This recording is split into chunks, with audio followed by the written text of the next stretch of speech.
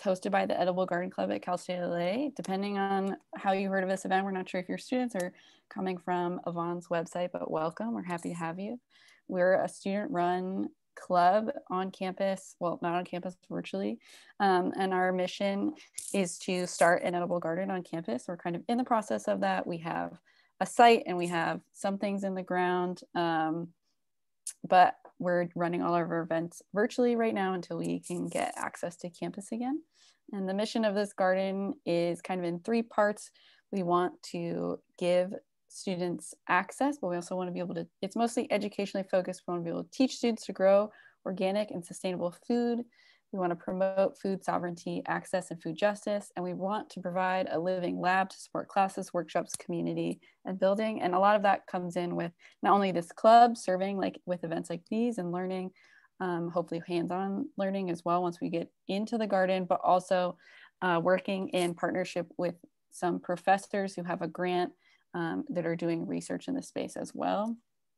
Here is just a little map of the garden if you've never seen it before. Uh, this is located in housing up in the top right that you can't see is lot five on campus. Um, and this is our space. It's bigger than it looks. It's really cool. Uh, we can't wait to go there and put things in the ground. This is some of these things that are on this map already exist in the garden. Some things are in process. This ADA compliant walkway that you've heard us talk about a lot has still yet to be constructed. but we're hoping that it will be soon. And then um, in the summer, we will have LA Compost install a three bin composting system for us. And that's really great. Things that are already in the ground include this row of fruit trees, um, some succulents up here, some sage, and also uh, grape plants and pea plants. Those things are doing well. Um, and there's also a shed. Uh, but some things in the future to be built are these garden beds. Some of them are semi-constructed, some of them not. So it's really exciting. There's a lot to do, but there's there's things happening already. Um, thank you all so much for coming. If you have more questions about the garden space itself, let us know. And if you want to be part of our newsletter and hear more updates about the garden and keep in contact with the club, just uh, put your email in the chat and we can add you to our list. I'm going to pass it off to Stephanie now. Yes, thank you, Megan. Uh, hi, everyone. My name is Estefania. I am the secretary of the Edible Garden Club. I'm also uh, majoring in nutritional science. I will be graduating in May. And I just wanted to thank everyone for, for being here. In spirit of National Garden Month, we're very excited to have Yvonne here presenting. And I just wanted to mention a few um, upcoming events that are happening in the month of April. Uh, there are, these are all presented by the gardeninginla.net, so Yvonne's website. Uh, for further information, you can log on to there. I can put it in the chat as well. And there is going to be an event from April 9th uh, to the 11th um, regarding Tomatomania in Descanso uh, Gardens in La Cañada. And then on the 10th through the 11th, there's going to be an, a spring plant sale from UC Riverside. And we're also going to have Yvonne speak for our club in collaboration with the Environmental Policy Committee on the 16th regarding container gardening. So if you're interested in that, we can provide you with more information. And there's also the, um, the 18th annual Theodore Payne uh, Native Gardening Tour Native Garden Tour, excuse me, on the 16th through the 19th. Um, so those are a couple of events that are happening in happening in April. So we we encourage you to to join in and um, just get involved as much as you can. So next slide. And here's just a little bit more information um, geared toward the container gardening workshop that we'll be having on the 16th um, with Yvonne thankfully.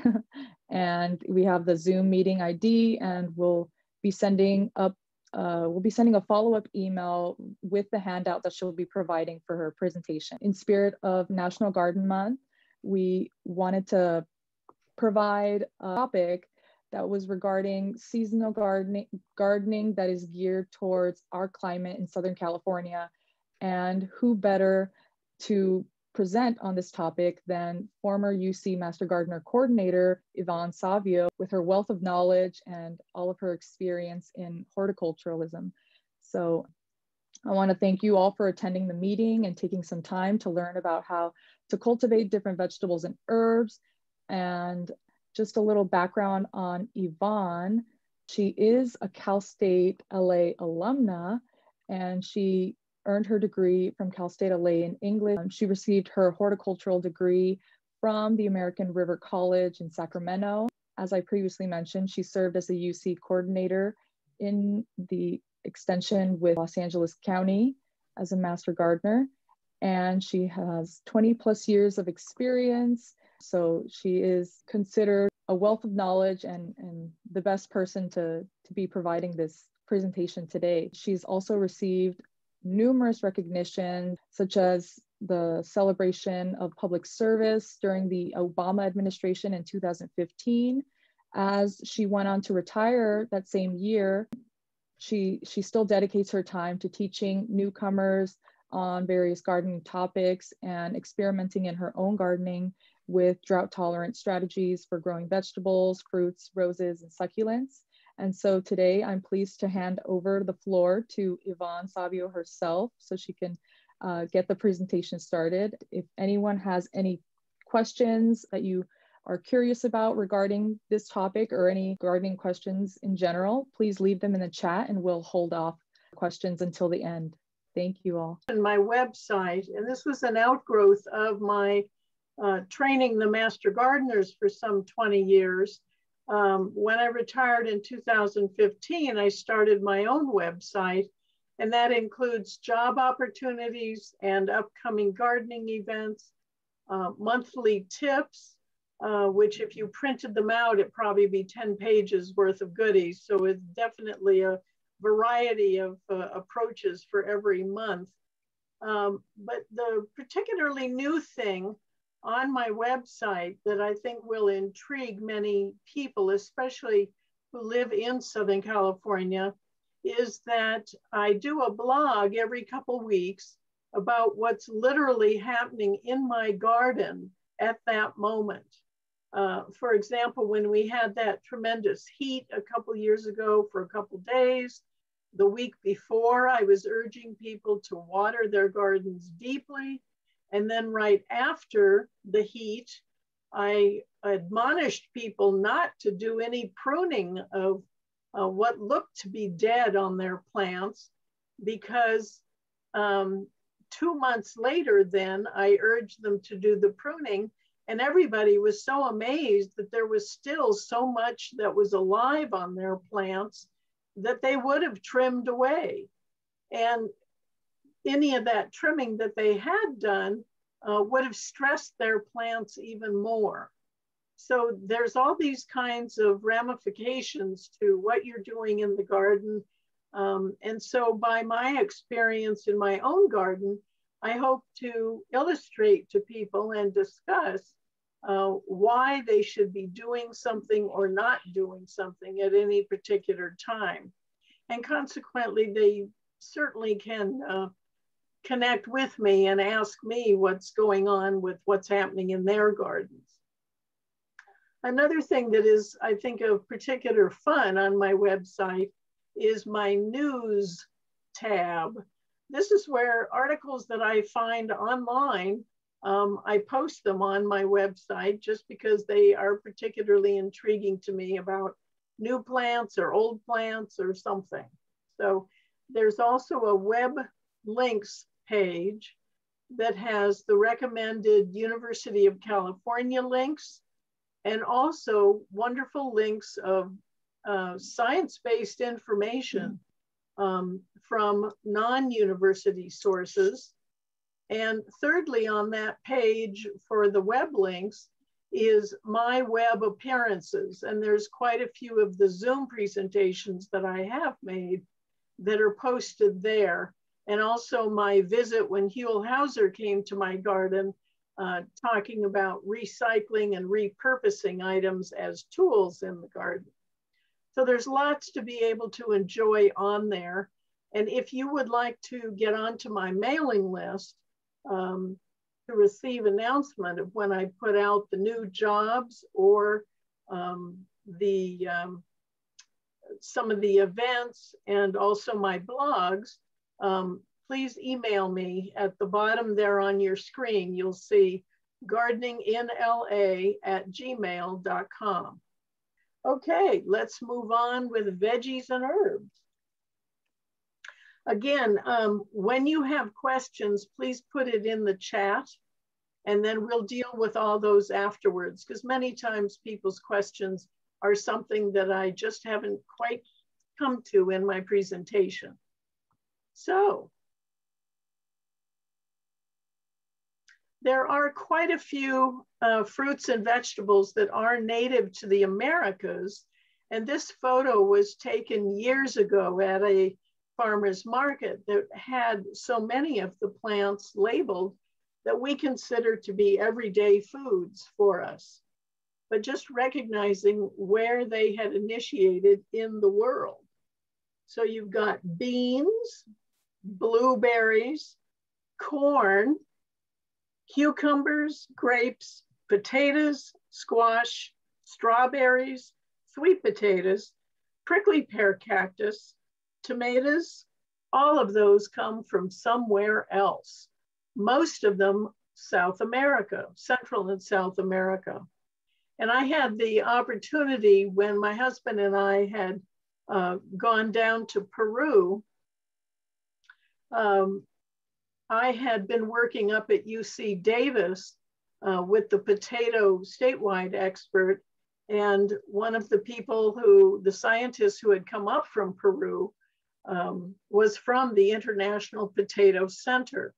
So when I went down to Peru, I arranged with him to go to the center and they put out a table that was about four foot by eight foot with about 200 different kinds of potatoes on that table. And they were just amazing. There was um, even one that was called the Puma Paw, and it was because it looked like the paw of a puma. So it was just fantastic. And of course, there, there were no potatoes that looked regular, like, you know, this one russet potato or even this purple potato here. They were all just terribly strange looking, um, but it was just fascinating seeing all those different original potatoes. So the um, one I'll deal with the category first is fall and winter. And these are the cool season crops. And there are um, different parts of the plant that we actually eat the ones that we eat the roots, some of them are a little strange to figure out, but botanically, these are the roots. So we have, of course, beets with its several different kinds of colors. We have carrots, which the original carrots from Turkey were this dark purple. But through breeding through the ages, um, it was determined that the orange ones were the ones that were most preferred by people all through history since their discovery in Turkey. So now, of course, in the last couple of years, um, more of the colors are being rebred uh, or picked back from the uh, orange ones in order to have more of a rainbow of carrots. We've got parsnips, radishes, Notice all the different kinds of radishes that there are. This is also a, a photo I took from uh, one of the farmers markets. And this one, my apologies for the blurriness of it. This is one of those, um, I don't know if this is a daikon or a, a turnip, but it certainly is, uh, again, eating the root. Stems this is where it gets a little strange seeming because you would think that this is just a regular shoot.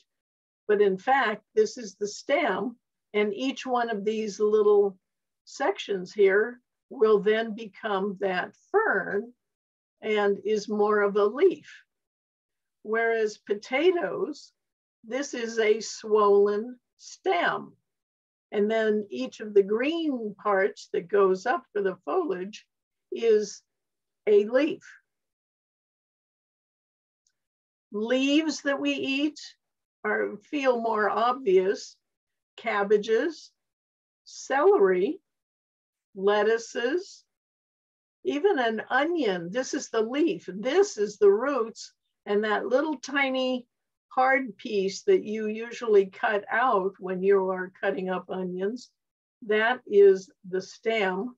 And then these, as they are rolled all around it, are the leaves, spinaches, and even pea shoots.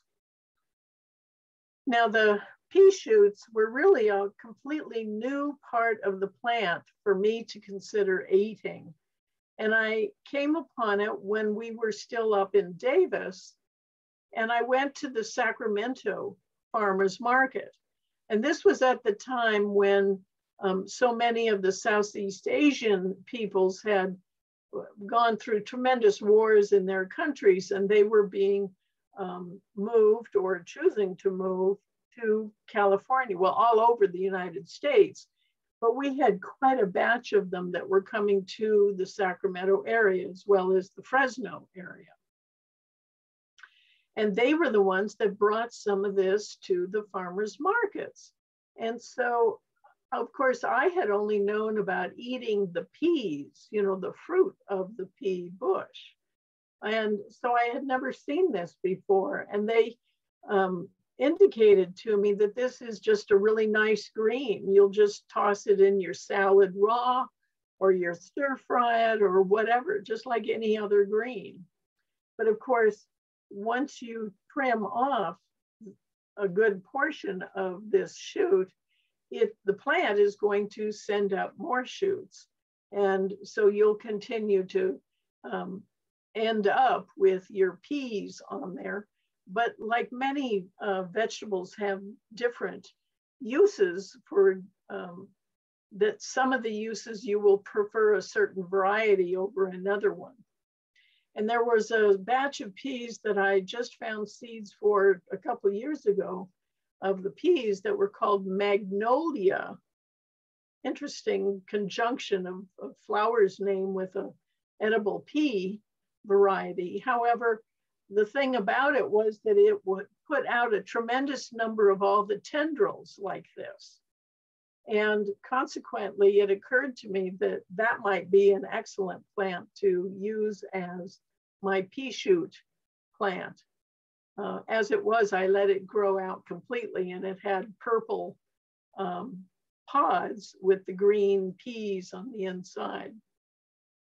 The other thing I wanted to urge you to grow was celery, especially if you are a cook and you particularly like doing um, soups and stews and things like that. You know, when we buy celery in the market, it's really pretty much cut off at this point. There's very little of the foliage on there. It's just those stalks. And so it may seem a little strange when you grow it that it ends up having at least half of the plant is all this wonderful foliage. And that's why it's so wonderful for a cook because you can use all of this wonderful foliage as part of your soup or your stew or anything else that's going to be the combination. But you do want to make sure that you grow this in the cooler weather because you have to put lots of water on it in order to keep the turgidity of the stalks. You know, if they start getting really wobbly, um, it means that it doesn't have enough water. The cool season uh, vegetables that we eat immature flowers are the artichoke, broccoli, cauliflower, so you may have known if you have grown them before, you'll know that the next step of this is that these outer scales open completely up and this what looks like a bottle brush comes out from the inside and it's a brilliant purple. So it is quite beautiful. But at that point, there's no flesh left in these outer scales or at the base of the artichoke, which is called the heart. Now the broccoli, when it comes up, all the little buds that are going to become flowers remain very, very tight um, in this head. Once you cut off the head, then at each one of the joints of all of the leaves, there will be little tiny heads that are coming up. And those will be about the size that you would have cut the big one into bite-sized pieces. There is a variety, uh, it's called purple sprouting broccoli that is made, it does not put out that uh, big head at the beginning. The only thing it ever puts out are tons and tons of those little tiny broccolettes, little tiny broccoli heads that seem to be already in the size that you're going to be, uh, bite size that you're going to be eating. And there have been studies made where the purple sprouting broccoli plant ends up giving more than twice the amount of broccoli to be eaten than if you grow a regular kind of broccoli cut off the main head and then eat all the remaining or the developing um, little heads to it. So in terms of the amount of food that the plant produces, the purple sprouting is a good way to go. Now this is a cross between a broccoli and a cauliflower, and it's called a broccoflower. And the beautiful thing about it is that it has this very geometric pattern to it. Um, these little individual pointy heads. It, and it tastes very mild. So um, if somebody doesn't particularly like broccoli because they say it tastes too strong, um, either um, harvest it when it's much younger or try growing the broccoflower. Now, the one exception, you know, we've talked about the roots, stems, leaves, and immature flowers, uh, parts of the plants that we eat. The one exception for cool season crops is that um, those are the only parts of the plant that we eat. The exception is that we eat the fruit on a pea that is a cool season grower. Everything else, it's one of those immature parts. So the best conditions for growing fall and winter um, crops are that the air temperature is between 55 and 75, which of course is what's happening now. so you still can put in some of these um, cool season crops that we've just been discussing. It's just that you're not going to have a particularly long season of them uh, bearing fruit because uh, bearing food because it's going to get increasingly warm from now. And consequently, they may end up going to seed before you get very much um, food off of it. However, um, that's why we call it fall and winter growing because it's best if you can get them in like September, October, November, and then you're eating off of them for October, November, December, January, February, March. So it's a lot of time that you can be uh, growing all the things we've discussed already in the cool season. And frankly, I like it growing then much better because we get so much food for all those months. The other criteria for the best conditions for cool season gardening are that you have direct sun for four to six hours. And that's because it's the greenery of the plant that you are eating, or the roots, stems, leaves, and immature flowers. If the, uh, the plants, like the peas, that have to go that extra step of putting out blossoms, getting them pollinated, and then developing the fruit, it needs another couple hours of sun daily and it needs to be fed more, the fertilizer. So let's move on to the warm season. Now these, the parts we eat are going to be the mature fruit and the immature fruit, only two kinds. So cantaloupe or any melon, um, this is hanging from a sturdy trellis and it is wrapped in a um, oh, pantyhose. Now the reason for that is that the pantyhose is what's hanging on the trellis at the top. Um, because if you just let the melon try, as the melon got larger, it would literally rip itself off of the trellis because all that weight that it's developing in the fruit, the stem part just can't hang on anymore. But the second value of, of hanging them this way is that pests cannot get through the pantyhose nylon, even with all those little holes, in order to eat the fruit. So it's a pest deterrent as well. Now these are winter squash. Now do make a, a note to yourself that all squash, summer squash and winter squash are all grown in the summer.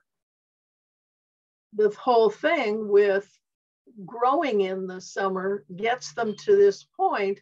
However, the mature, um, like here's a pumpkin, but all these other kind of squash are the ones that you let mature absolutely completely to the point that you cannot puncture it with your fingernail.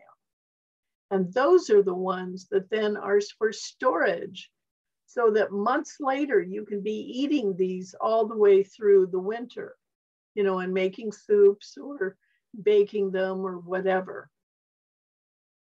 But all squash are grown in the summer. And tomatoes, of course, are, I think, the entry vegetable through vegetable gardening. Everybody wants those tomatoes that they had as a kid or that they remember from their grandmothers or their great grandmothers' gardens. And so many different colors and shapes and flavors. And when they uh, mature, some of them um, are called early season, some are mid season, and some are late season, just in the amount of time it takes to grow the plant and set the fruit and um, mature the fruit. The immature fruit that we eat of the warm season are beans. And of course, um, we can also let these dry completely and use the dried beans. And this is, uh, my apologies here, this is the mature corn that of course is all this beautiful colors. However, when it is nice and soft and sweet corn, that's what we eat um, as the immature fruit. Here's cucumbers, uh, long green ones, um, lemon cucumbers, eggplants, peppers. These are the sweet peppers. These are the chili peppers. And then here's the immature squash in many different kinds of shapes. So the best conditions for growing warm season crops are the air temperature of 65 to 95 and the minimum of eight hours direct sun every day. So some of the other um, elements to be considering when you're choosing your varieties. Um, each of us has microclimates. Um, you know, one part of your yard might be warmer than another. Certainly, uh, if you have a garden space on the north side of the house, it's going to be completely different than the growing space on the south side of the house. Um, and so you're going to have to choose different varieties for each of those different spaces. Um, you do want to try to stretch the seasons by planting things early and late, as well as in what seemed to be the perfect time to be planting. And the harvest times are really going to be according to how you're going to be using the vegetable.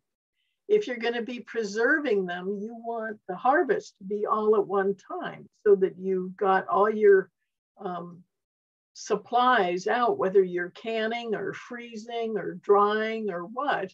You want to be able to do this all at once.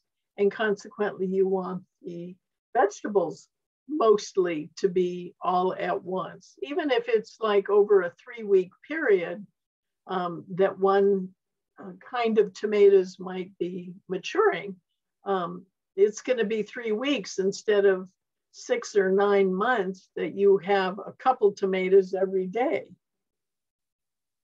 which is what the other um, time um, frame is. For example, the all at once, you will want like a celebrity tomato will bear all of its fruit within about a three month, I'm sorry, three week time period. And whereas a cherry tomato will bear its fruit a few every day for maybe as long as nine months. So that is going to be great if you just want a couple tomatoes every night for your salad um, as opposed to preserving it where you don't want to have to be hauling all your equipment in and out. You want to be able to do it all within a couple weeks time. The other thing is there's no such thing as a baby or a gourmet variety. Sometimes this is really just a marketing um, scheme to sell something more to you. Um, it's really just a matter of when you harvest it. Um, a baby vegetable, of course, will be the tiny one. It might even be here's the bloss squash blossoms, but these are the male blossoms. The female blossom will have a little swelling down here, which is going to be the squash. Um, however, if it doesn't get pollinated, it just dies off but that may be the gourmet variety of your squash. So it's just a matter of what stage you're harvesting it that will determine if it has this fancy name to it. So germinating your seeds. Um, certainly as a first time gardener, it's a good idea to get the plants, the little what are called seedlings, already at the nurseries. You know, usually they're in a six pack or a four inch container. And you don't want to get the larger, like a gallon size, because the plant has so far developed that it's not going to translate well, uh, transfer well into your garden. It's going to have a hard time making that transition. But if you're going to be starting by seed, you do have to be cognizant of the soil temperatures. Now, this is different than the air temperatures.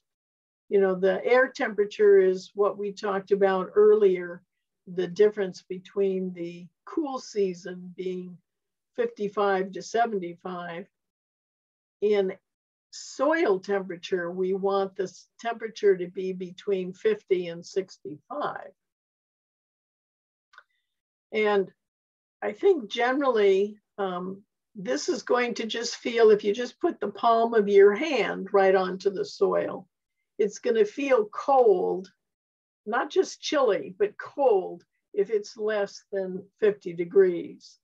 Um, but you can still put a couple seeds out and see whether they germinate or not. Uh, for the warm season crops, it's going to be even warmer, 65 to 80.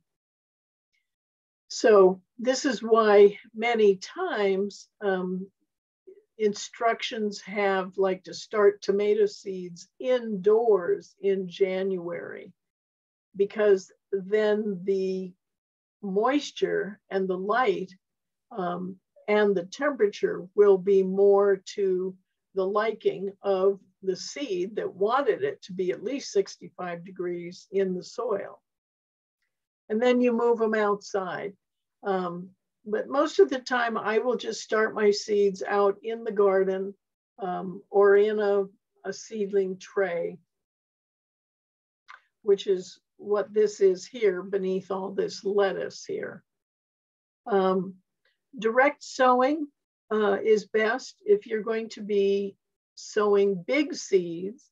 This is seeds that you can handle pretty easily, like corn or beans, um, or squash, cucumber.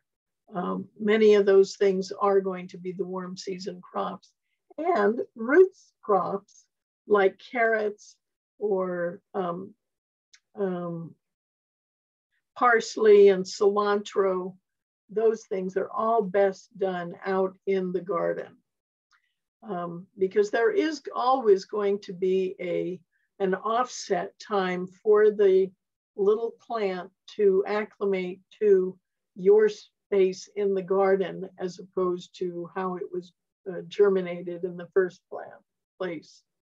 So this photo has um, a row of each of these different kinds of lettuce.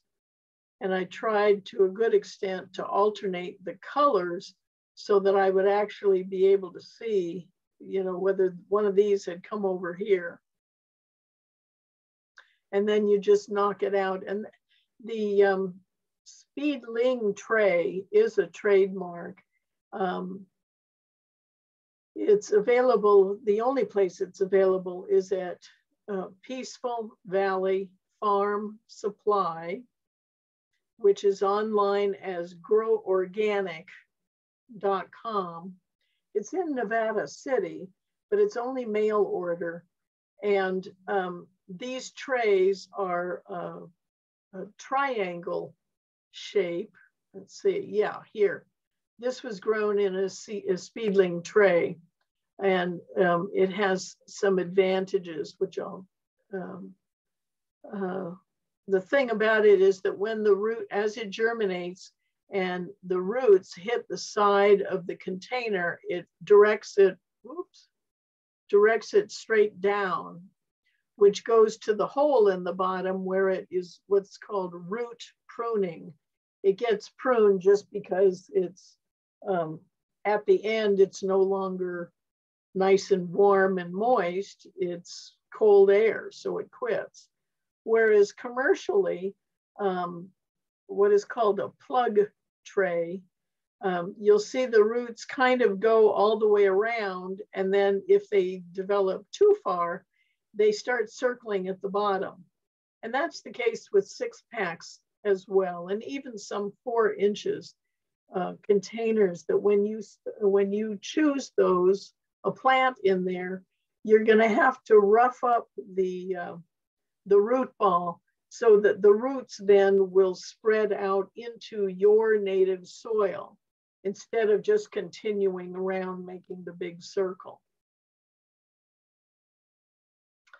So transplanting, um, these are the little seedlings, whether you've started them yourself or whether you um, bought the six pack or the four inch container, um, and certainly the larger ones. Uh, most of the time, you will plant it at the same depth that it is in the container because that's where it grew. It has made that distinction between the roots and the, the stem and then the growing point. The two exceptions, of course, are tomatoes, which you always uh, plant deeper because it will, it's the one plant that will develop um, roots along its stem. So planting it deep um, say four inches um, under the soil, so the stem is under the ground four inches, that will have roots coming out. But other plants don't do that. Um, and then of course, potatoes you're putting underground anyway. And so it's kind of, um, it's obvious that you're planting it not at the depth it was at the container because it wasn't, you planted it underground.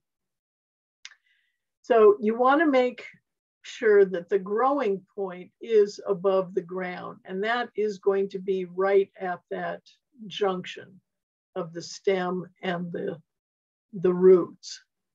You want always to handle it by its leaves or by its roots, not the stem, because the plant can repair, um, can add more leaves or more roots if something gets damaged.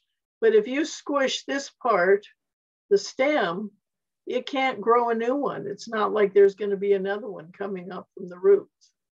So that's why if you notice that my hand is holding these by the leaves.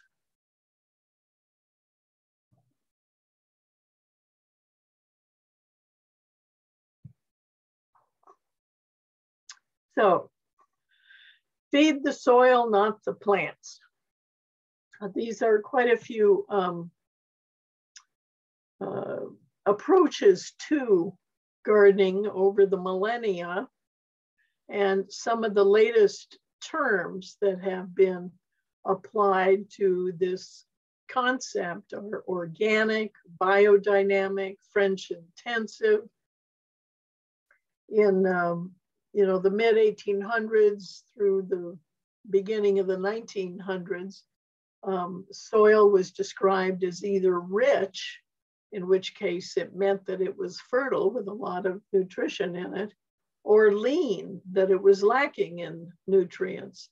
Also, um, if any of you have uh, farmers in your background, especially in the mid Midwest, or have heard um, soil mentioned as being sweet or sour, they literally tasted the soil.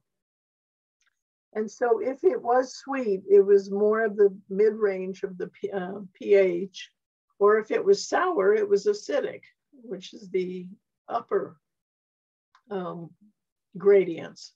And uh, for most vegetables, they prefer um, the number of 6.5, which if any of you have the Master Gardener Handbook, which is available to the public, it's on page 63.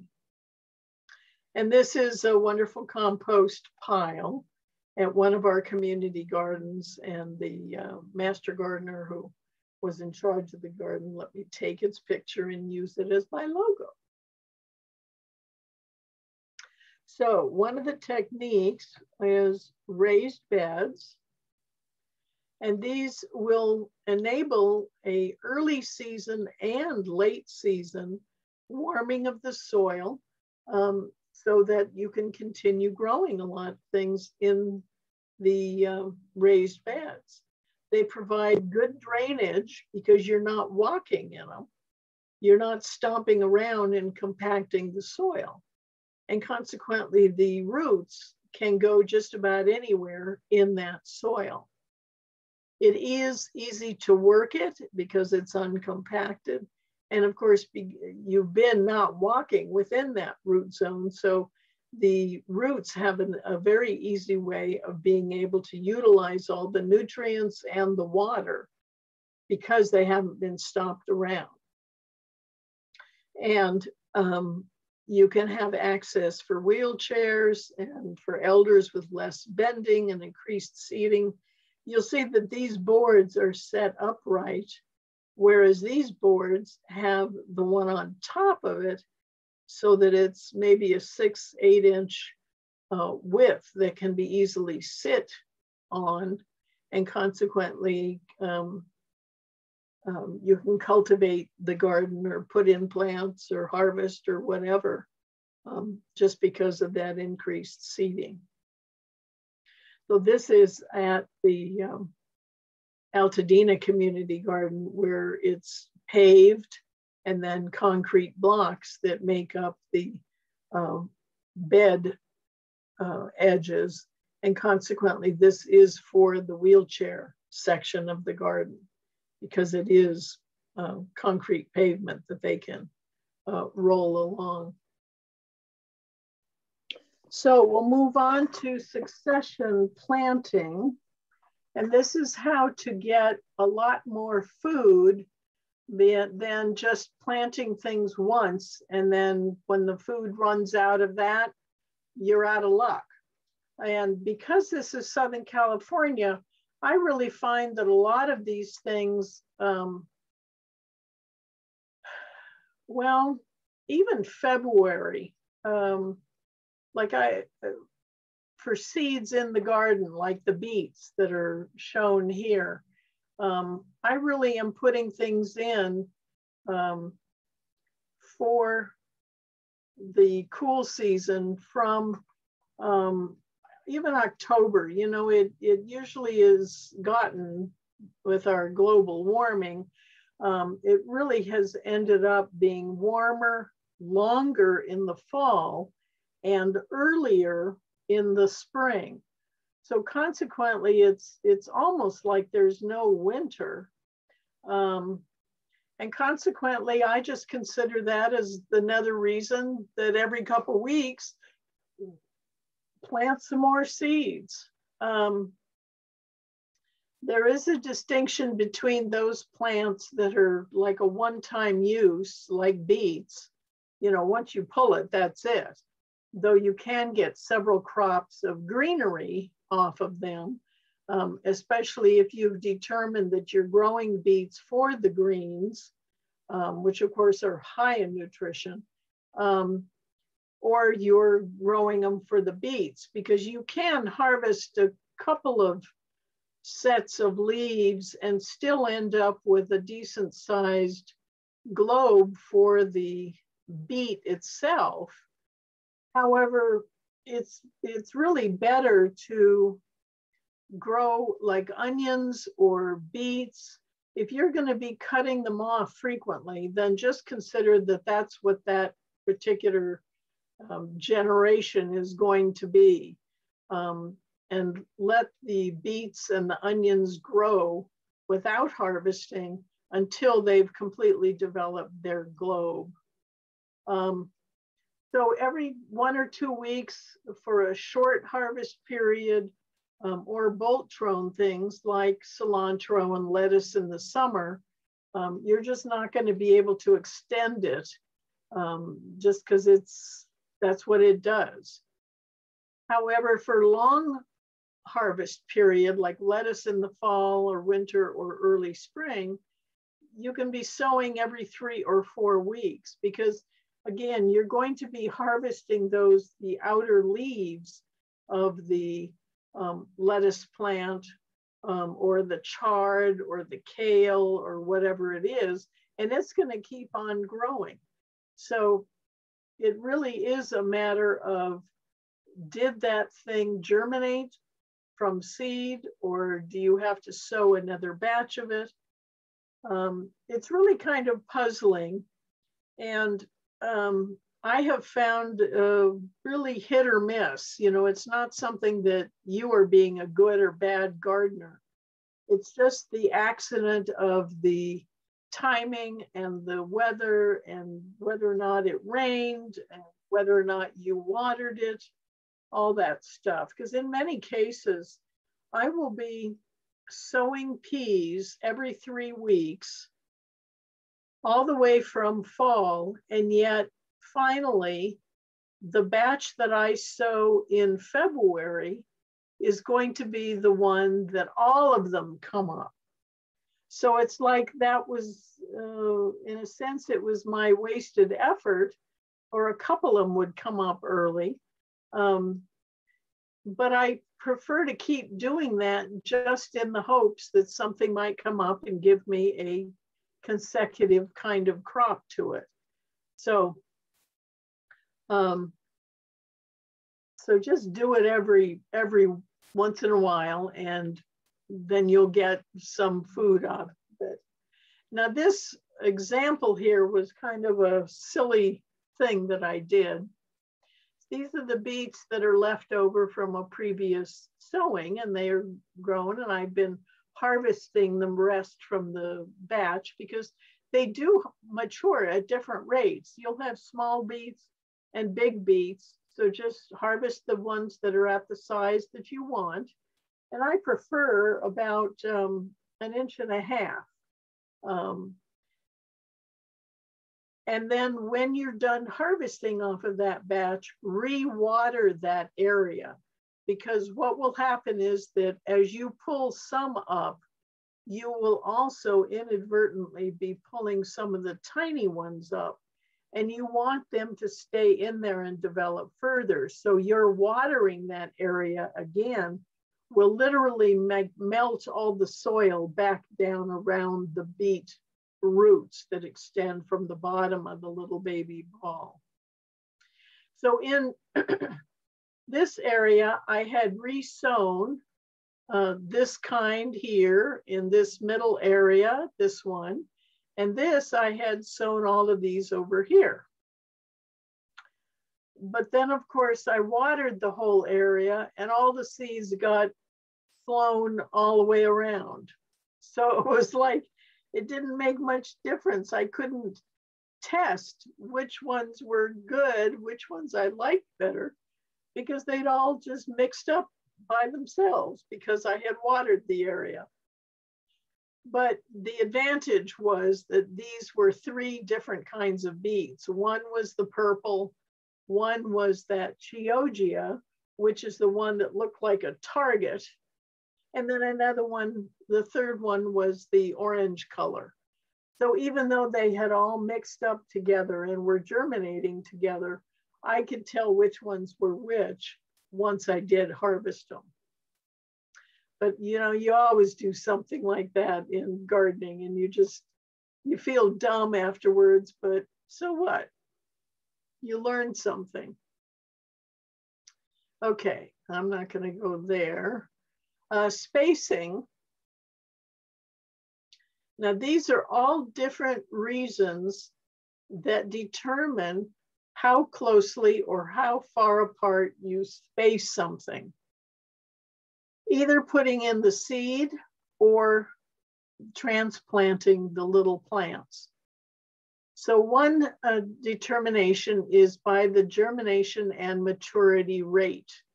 Radishes germinate very quickly and carrots germinate very slowly, really up to three weeks, whereas radishes might be two or three days.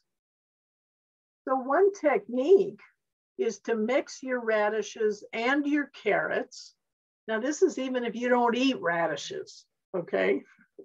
Or for that matter, if you don't eat carrots. Um, mix the seed together sow it in a little area. And I always prefer to sow it in an area, um, you know, not, not in a row. Um, if you did rows close together, that would be fine. But the point is to use your entire area of your soil um, that has been amended with compost and manure so that all that rich resource is available to the seeds and the uh, transplants. So you sow together the radishes and the carrots, you know, you intertwine it. And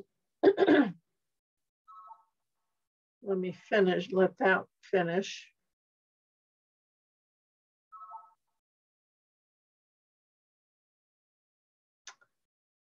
Okay. So you, you plant them together, you intertwine all of the seeds, and then the radishes, which will, and you uh, water it to settle them into the seed nicely. The radishes will germinate within a couple days, and the carrots won't.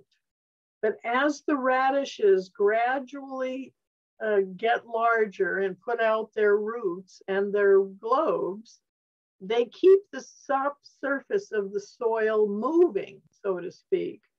It won't um, cast a crust over the soil because carrot seeds are very um, um, unenergetic, shall we say. They don't do well at punching up through soil that has a crust on it. So, but if your radishes are gradually keeping this soil from crusting over, the carrots in that three week period of time, if you keep the soil watered, those carrots will germinate and come through. So by the time that you want to eat the radishes three weeks later, you'll be pulling those uh, gently and watering it so that the carrots stay connected. And then you, um, um, the carrots will be developing over the several weeks that it will take them to mature. So um, root, uh, the growing zone is also a criteria that you can use. Some things grow at the root level, like garlic. Some things, the roots are right at the surface level, like bok choy, and some of the greenery is right at the above the soil. In the mid-air is cabbages, and then up on trellises is peas. So if you think in terms of the garden as an up down kind of perspective that you've got the root zone, you've got the surface area, you've got mid-air, and you've got trellis, um, you can be growing all these things right next to one another because they are using different areas of that root or air space in order to put out the bulk of their foliage. Because you always want to have foliage uh, growing close enough together so that it just barely touches when it's mature and consequently it shades the soil and you won't have so many weeds coming up because the soil is shaded. So that's what this accomplishes. The sun orientation um, like planting lettuce on the north side of peas or corn during the summer, any of the lettuces that are uh, bolt tolerant, um, because they will have the shade of the peas or the corn. So they'll last a couple more weeks before the heat just determines that they're going to send up their um, seed stalks. Another criteria is that the water zone, that you have the plants growing together that have the same water needs. For example, you really can't have a complete herb bed, a bed just of herbs, an herb garden. Because some things like um, uh, cilantro, basil, they want lots of water but your lavender and your uh, rosemary don't want any water. They're used to being on a rocky hillside in Greece, okay? So putting them right next to one another, they're both gonna be unhappy. So you need to separate, put together those things that are going to be needing lots of water, put them together and keep the ones that don't want much water in a different, like in a different raised bed where you have a different watering um, system going. Support and pest deterrent is like a three sisters garden, which is corn, beans, and squash. This is where you plant the corn and after it's about a foot tall, um, you plant the beans, the pole beans.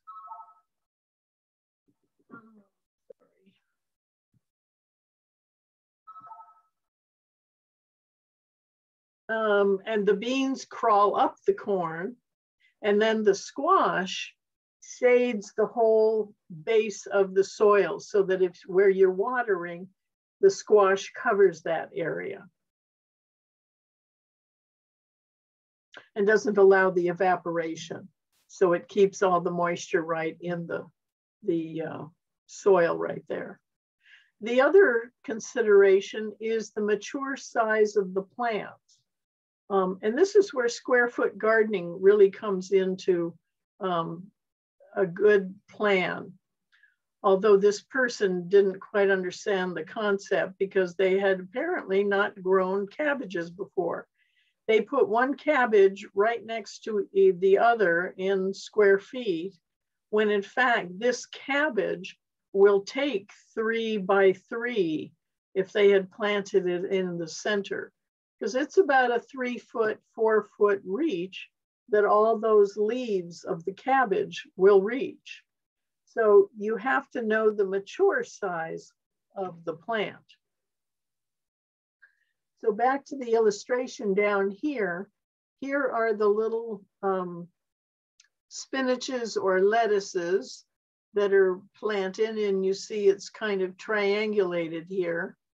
And you harvest those outer leaves so that the um, the plant, this has just been harvested, which is why there's all the blank space in between each of the plants. But when, as it grows, um, like within a week's period of time, then you harvest all those outer leaves and you leave the three or four center leaves to continue developing.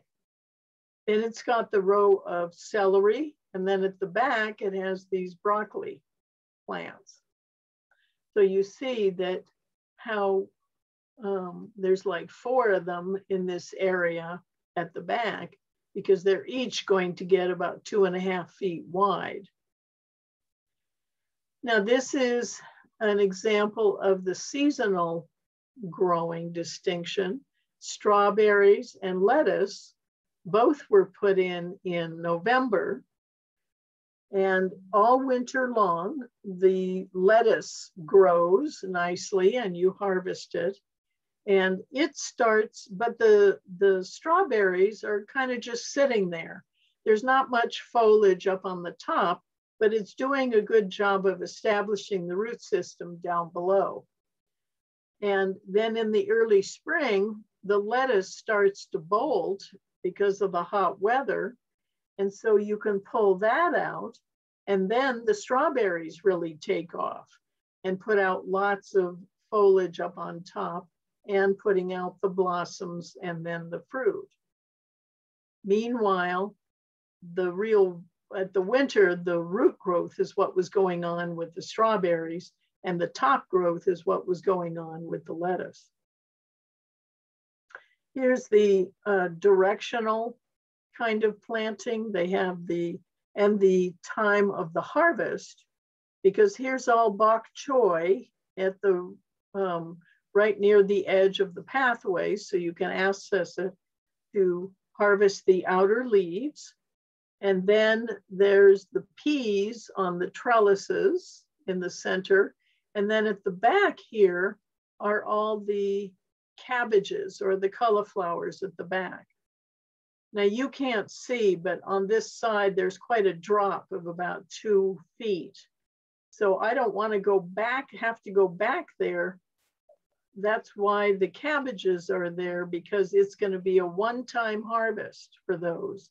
When they get large enough, I go back there and I harvest the one cabbage or the one cauliflower. Whereas these are almost going to be a daily kind of thing. So you, on all of these, you have to think about each one of these elements in order to determine how closely you plant something. Okay, trellising. Um, you're using the airspace for growing. See, it's all up in the air instead of sprawling on the ground. Uh, you are using a more intensive use of the amended soil. You know, since you went into all the effort of amending that bed, now you want those roots to be able to go everywhere and pick up that nutrition. Because the greater amount of all of the foliage is up in the air, you have better circulation and consequently fewer pest problems. Um, and pests includes diseases as well as insects and small critters. And even the harvests are clean because they're literally off of the ground.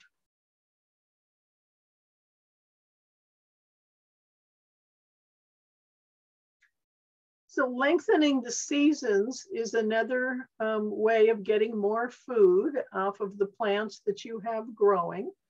Um, my recommendation always is to plant despite the weather because you never know what's going to happen. Um, you know, is it going to stay cool? Is it going to get suddenly hot? Um, so it you never know what's really going to happen. So keep planting um, and then hopefully you'll be lucky with there will be some that die, but some don't, and they're the ones that end up giving you a lot of food.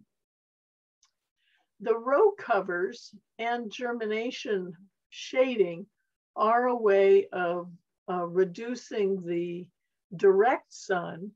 However, like these lettuces are already pretty mature, so they're really not going to be benefited very much um, by the shade because the air temperature is what is going to set the hormone change in the lettuce so that they start putting up their um, uh, seed stalks.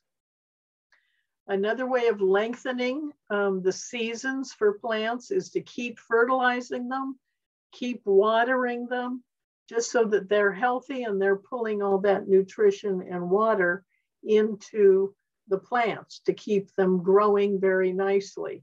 If they get a bit stressed, they're going to uh, attract pests and they're going to die anyway. Continuing to harvest is also a way of lengthening that season. Um, we like our peppers very ripe.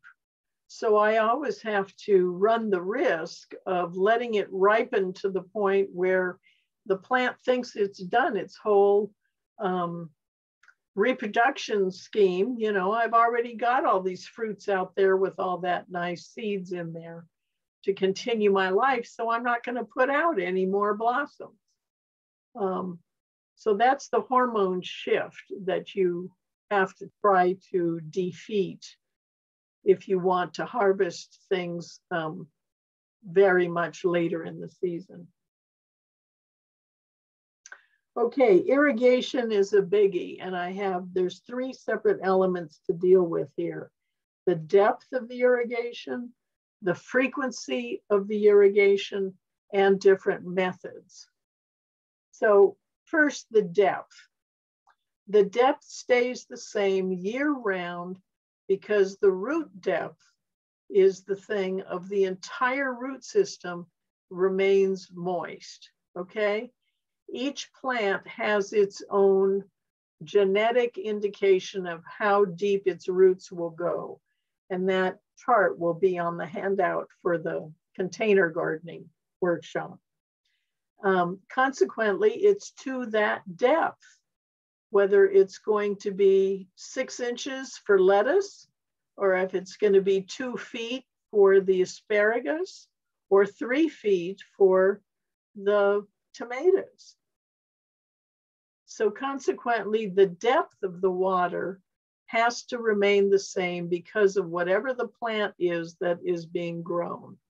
So to the foot, here it's celery, lettuce, onion, radish, potato. Two feet is beans, carrots, cucumber, eggplant, pepper, squash.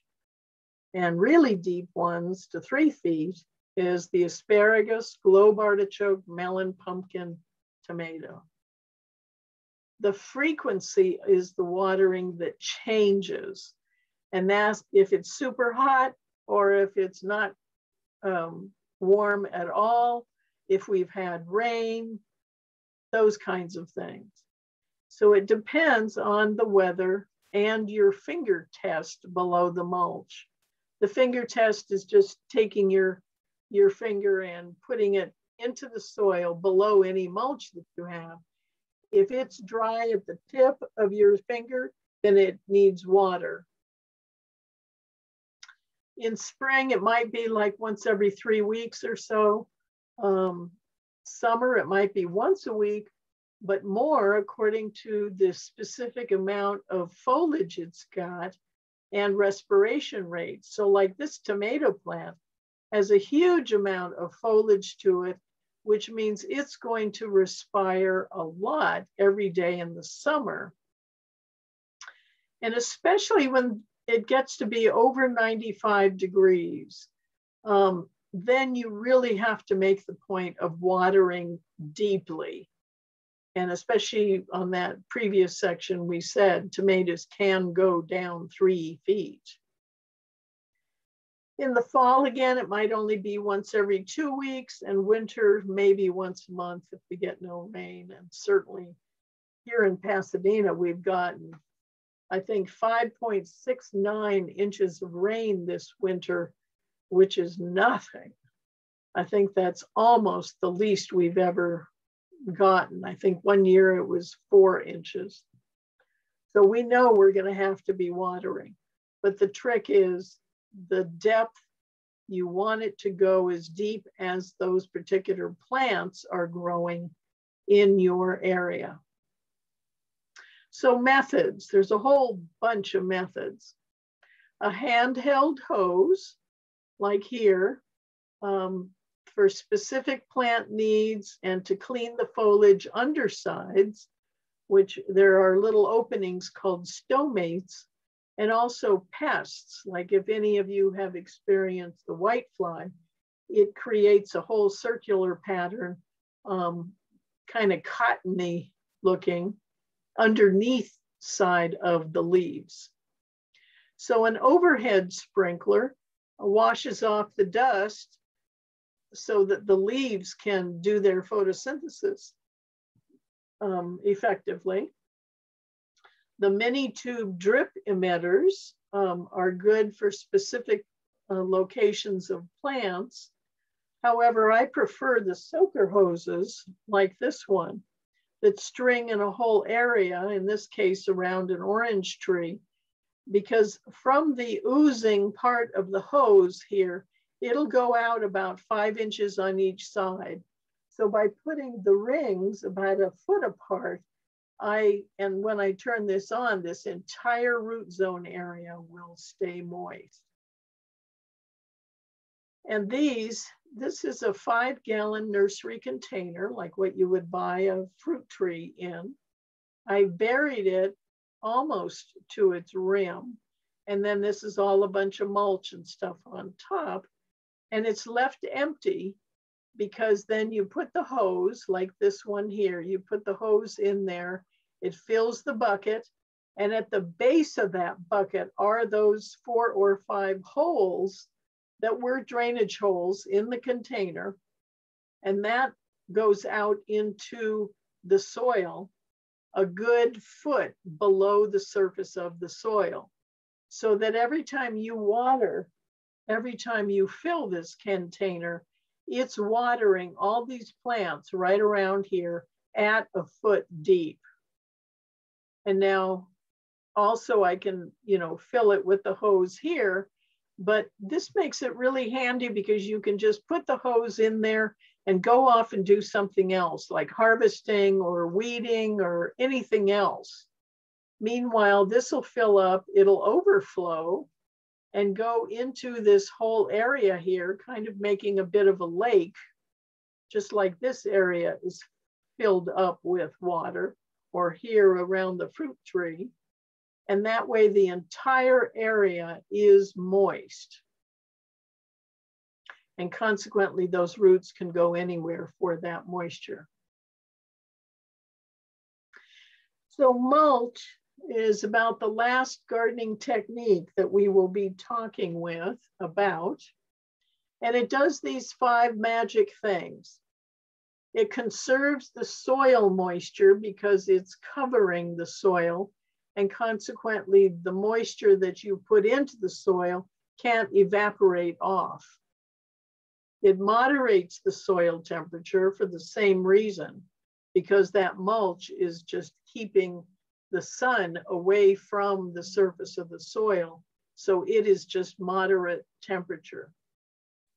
It keeps weeds from germinating and any that do are easy to pull because they've had to come all the way up through all that mulch. It lessens erosion because the whatever rain or water gets directly onto the soil, it soaks right in because the mulch has kept it from getting to the soil and sweeping it away down the street. And lastly, as it breaks down, that mulch enriches the soil nutrition and feeds the beneficial microorganisms in the soil. And so roots are very happy. So finally, of course, the whole reason we're doing all this is the harvest. And individual taste preferences will determine when you harvest something. For example, on a tomato or on a peach or um, just about anything. On a pea, you can harvest it at a certain point and you can decide, well, that was good. But then harvest it several days later, another one. Oh, I like that one better. Or no, that, that still doesn't taste ripe yet. And you do this four, five, six times on that same kind of a plant. And then you decide when you like it the best. And that's your perfect time of harvest. And of course, plants have a billion uses, whether you utilize the foliage, the blossoms, the immature fruit, the different stages of maturity, just the mature fruit or the seeds. And some plants you can do several different stages. On lettuce, chard, collards, and kales, all those greens, bok choys, harvest just the outer leaves. The plant will continue growing until it finally bolts, which could be a good nine months worth of food off of there. And I one year I did grow about six different kinds of kale because I wanted to see which ones I really liked the taste of, which I liked looking at growing in the garden, and which I just felt I just didn't appreciate them sufficiently to bother wasting garden space. So I did find that the Tuscan kale, the lacinato or dinosaur kale, you know, the one with the long leaves that are all kind of lumpy bumpy. Those I liked the best for eating. And also it lasted, one plant lasted for three years because even though it, um, I kept harvesting the outer leaves, it kept putting out new branches that also had those nice, tender, small leaves. Um, and it finally took about three years before it was about six feet tall. And I just decided I was going to start with a new plant again. And I just chopped that one down and put it in the compost pile. So I never did know how long it could have grown forever. Okay, one last thing if you want to save seeds. Now, August 3rd 2016, my blog goes into a vast amount of instructions and detail about how to save seeds from the items in your garden. So August 3rd, 2016. Um, now this is just in small containers so that I can show the process all at once here. But generally you do this in a, um, a gallon size stainless or glass bowl. So what you do, um, well, the whole point here is that it's only for seeds that are what called open pollinated, not hybrid.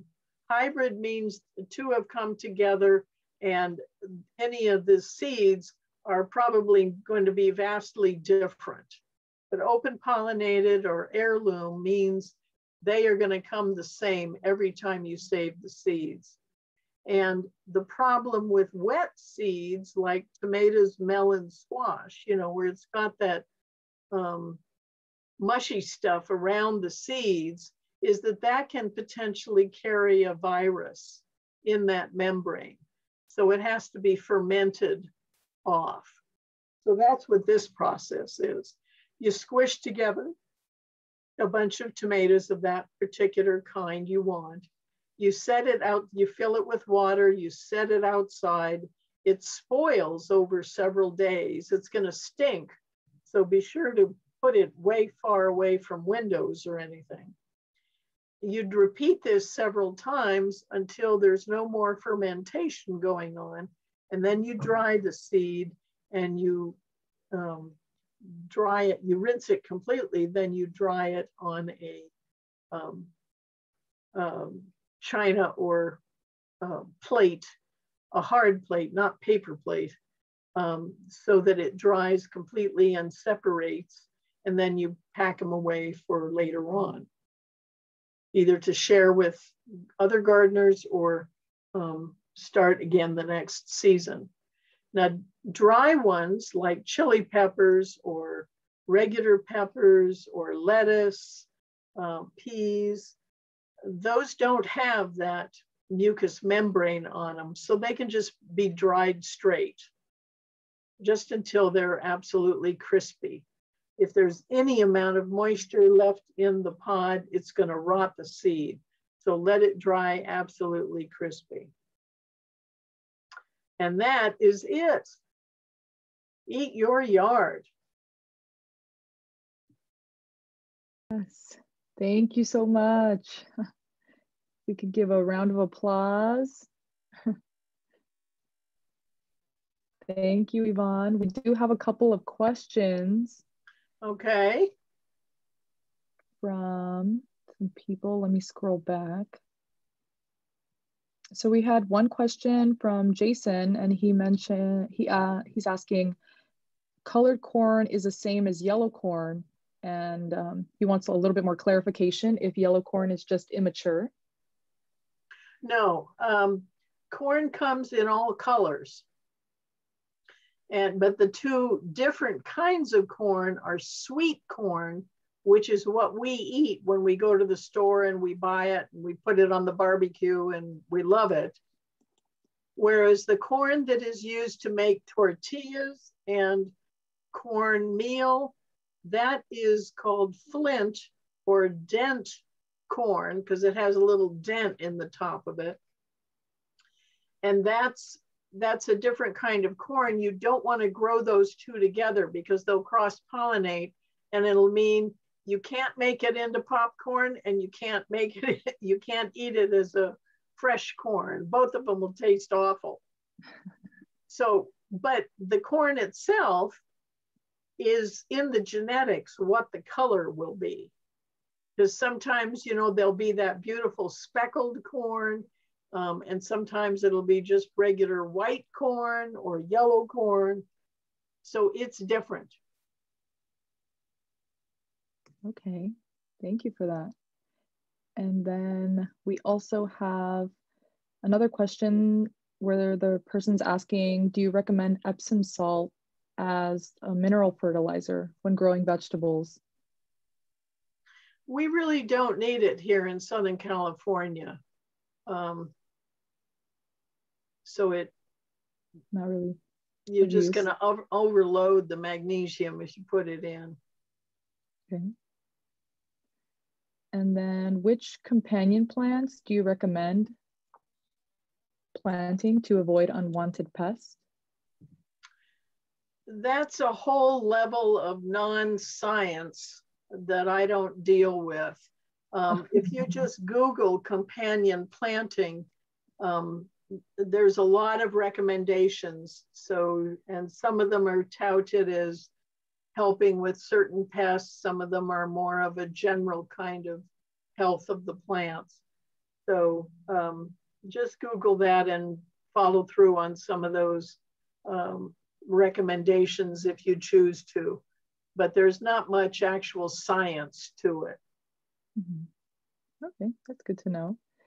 And do you personally, do you recommend using um, cover crops as opposed to mulch in the garden? Um, well, it's a good idea because certainly when you, you let it grow to a certain amount and then you dig it in, it's also called green manure.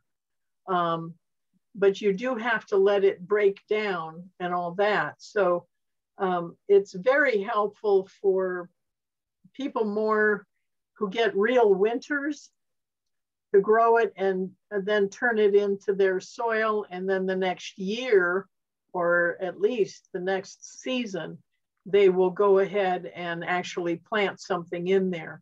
But there is a lot of time that it takes in order to break all that down and have all those microorganisms able to incorporate that so that it's in a form that the plant roots can pick it up.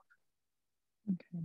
And then maintaining the. what I the really prefer to do is more like rotating your crops so that you have certain crops following other crops that are going to be either um, holding the nitrogen or making it available to the next uh, plant. And therefore you're, um, it's kind of like what plants are really heavy feeders, you follow them with not heavy feeders so that it all reincorporates into the soil. So in essence, you're growing plants to accomplish the same thing rather than putting them out of um, service because you need to let it break all down.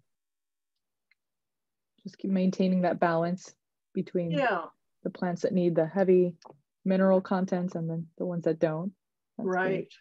So we we have about um, 12 minutes left. If anyone else has uh, some questions, they can drop in the chat or um, if anyone wants to unmute themselves, feel free to, to do so. Uh, let me tell you two um, things. The last two blogs that I have put on my website were the warm season crops um, troubleshooting, so problems and solutions. And then the time before that was the cool season crops, um, uh, problems and solutions. And the uh, warm season one at the very bottom has the links that I've done uh, previously, or links to the blogs that I had done previously about tomatoes specifically. So in terms of problems, um, you know, there's a lot of possible problems, none of which may happen or one or two would happen in your gardens but it's nice to have those as referrals um, because then you can kind of go down the whole list and see what might be happening. And with the solutions, um, much of the time it is um, a nutrition or a fertilizer issue um, as opposed to, you know, going in there and ripping out the plant. Okay. So those are good. Um, the other thing I would like to remind everybody of when they go onto the website, my search bar is on my blog page on the right hand side, right above where it has the archives for all the past blogs, which is listed by month. Um, and so you can put anything in there like growing tomatoes or pruning fruit trees or whatever it is. And that will take you to a list that is of all the mentions that I have made in, in previous posts. So those are good things to, to know exactly where they are so that you can find what you're really looking for. And it's not just vegetables, it's also flowers and other types of oh yeah plants as um, well. I mm-hmm. I really particularly most talk about um, vegetables, but you know, roses and fruit trees and succulents and the whole shebang. It's all in there somewhere. Lots of information, very helpful. Yeah. yeah. And certainly the web um, web links page also is a, a tremendous uh, collection of um, information that you really should, um, when you have nothing else to do in these COVID times, um, just wander around the website and see what uh, what all is there. The um, and I usually put a um, one of those news articles are just absolutely fascinating. Um, I saw a recent one on monarch butterflies. Yes. Uh huh. The LA Times. Yeah. Yeah. yeah, she did a great job because she really lets you know where to purchase the correct ones. You know, it's it's one thing to have all the um, Asclepias available at Home Depot, but it's all the red orange ones that end up being pretty all year long. But that's the problem with those plants because it doesn't give the proper nutrition. Um, and it does harbor some of the viruses that then end up get to the, the monarchs. And so it ends up being a problem. And here you were thinking you were doing a good thing in your garden, you know. So it's always reading the fine print. That's another question I actually have for you. Do you prefer buying um, seedlings from Home Depot or nurseries? Well, like you know, since Home Depot, I think a couple years ago, started carrying all organic um, vegetables. I don't know about the ornamentals, but um, I've been very proud of them that they actually uh, um, made all the organics source as the availability for them. So all the vegetables are organic with them, but it's really just a matter of where um, where you want to purchase and who has the particular items that you're looking for. I will make a note though, when you showed the coming events, um, the Tomatomania at Descanso is complete, has been sold out since the announcement went up.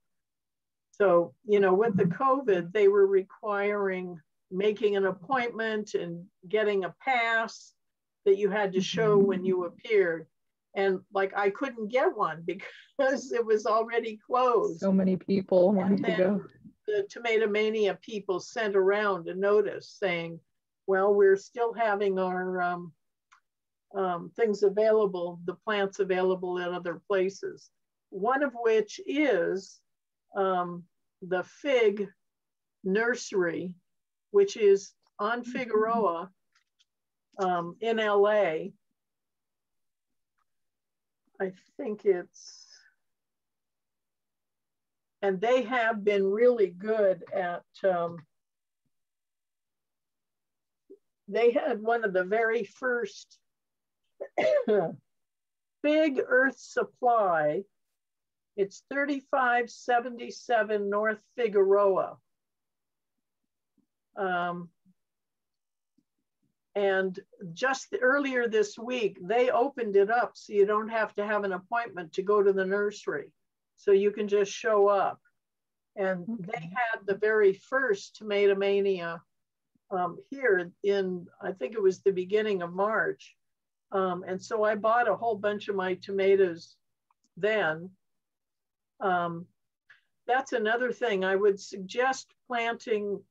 Well, I guess if, if you folks don't have any place to plant it, but I plant the first tomatoes that I can find like the sun gold cherry and some celebrities and some of my other favorite ones that are very common, I buy those as soon as I can see them in a nursery somewhere. And that's usually middle of February. And then another three weeks later, I will plant some more mm -hmm. of whatever varieties I know that I want. And then another three weeks later, I'll plant a third batch. Because then what happens, that's part of that succession planting, that the tomatoes, like the sun gold is the cherry, so it's going to be bearing this entire time. But like the celebrity and some of the others that are the determinate varieties, that they, you know, they'll develop, they'll do all their fruit and then they'll die. Those I plant another one like every three weeks in order to have, uh, you know, one plant will bear, it'll die, the next plant will be about ready, it'll bear, it'll die. And so that way I can continue having that kind of tomatoes for months. Mm-hmm. Just the rotating only the limit, plants. I Mhm. think, is that um, about the beginning of May, I used to plant yet another batch, but I don't any longer because over the last several years of the drought, I never, Mhm. those plants never survived long enough, even with a lot of water that I was giving them. So I just Mhm. decided not to waste the water anymore on those. So I will plant my successive plantings until about the middle to the end of April. And that's it. So from February, February, March, April, that's three months worth of um, successive plantings of the tomatoes. So that way I, we get lots of tomatoes. And I particularly like the uh, Cherokee purple and uh, black Krim. Um, and there are several others that I, uh, green, uh, green, well, zebra, um, green zebra um, is kind of a nice stripy one. And that is green. And then when the intersections of it turn golden, that's when you ripen and that's when you pick it. Oh, wow. So Lots um, of varieties of tomatoes, huh? But yeah, we have about two two minutes left. Um, maybe nobody has any questions, and um, or if they do, please unmute yourself and let us know. If not, thank you everyone for sticking with us until three o'clock. I hope you all learned something, and be sure to review the handout that was put in the chat that Yvonne gave. It describes all of her slides and just in case you didn't have any time to take any notes and you were just focused on listening to her, um, that's a great resource to use as well. So Noelle uh, says, thank you so much for this workshop.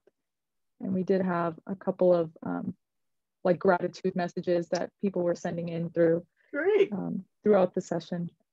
So Well, it's always nice to show some of the tricks that I have learned over all these years. Yes, we, we appreciate all of your knowledge and you taking the time to, to sit down with us and, and talk today. Sure. All of this is necessary. Yeah. So we have about one more minute left. We can, I can stop